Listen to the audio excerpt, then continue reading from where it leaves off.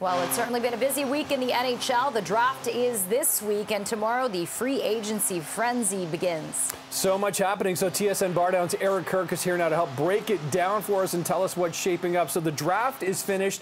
The Leafs picking up a couple more draft picks over the last couple of days. Eric, what can you tell us about the new players and what kind of an impact they could potentially have on the team? Maybe not next year, but perhaps down the road. Yeah, they've got some great young players that they're bringing into this system. Their first round draft pick, real late bloomer into the OHL season, really helped the London uh, Knights make their way through that OHL playoffs and almost got them all the way to a Memorial Cup.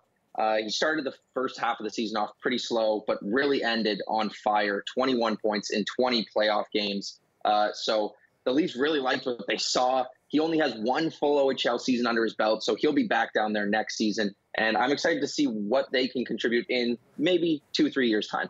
Mm-hmm. And Eric, uh, this weekend's going to be like musical chairs, a free agent frenzy. What are who are some of the free agents we should be keeping an eye on? You look at right at the top of the board has to be Patrick Kane. We saw him in a different jersey for the first time after he went to the New York Rangers at this year's past trade deadline. And we might see him in a third jersey soon because it's virtually impossible for the Rangers to re sign this guy. They are right up against the cap. He's going to be asking for a decent amount of money. This is probably his last big contract mm-hmm. in the NHL. So where will Patrick Kane go? Chicago's been making tons of move recently. Are we going to see him go back to Chicago? That would be pretty crazy. Um, and then his old teammate Jonathan Toews, uh, he's already told the Blackhawks that he's not coming back. They have a mutual understanding that he will be going elsewhere. So all eyes will be on on the two former Blackhawks and uh, even a little bit on Ryan O'Reilly. The Leafs are going to have to do a lot of cap jumping if they want to keep him on their team. It's going to be a lot of work for Brad Treliving, but who knows if they can get it done. Yeah, what kind of hints has Treliving been saying, if at all, about what potential moves the Leafs could make, uh, you know, over the next day or two? Because, I mean, free agencies, there's so much of a focus on it. So many people think, okay, just sign one more player, and maybe mm-hmm. that, you know, gives the Leafs the sort of bump they need to make it into the semis or finals of the playoffs next year it, it, appears right now like all hands are on deck on these William Nylander, Auston Matthews extension negotiations. It seems like the Leafs want to run this core back and build around them. Hmm. So uh, all Leafs fans that were hoping to rip down the core for it and completely change the culture in this organization, it's not looking like that's going to happen.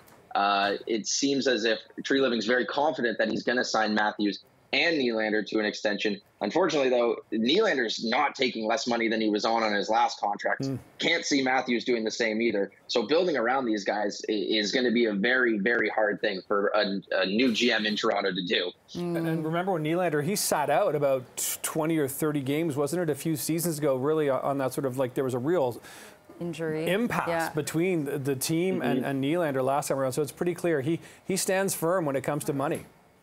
Yeah, and he's earned it. He's been yeah. virtually their best playoff performer recently. So uh, I think if, if anyone earns the right to say, I deserve this money, it's William Nylander. Okay, TSN Bardown's Eric Kirk with a tee up of what to watch for this weekend and a recap of the NHL draft. Thanks for your time. Have a great long weekend, Eric. We'll chat soon. Take care, Eric. Thank you. You too.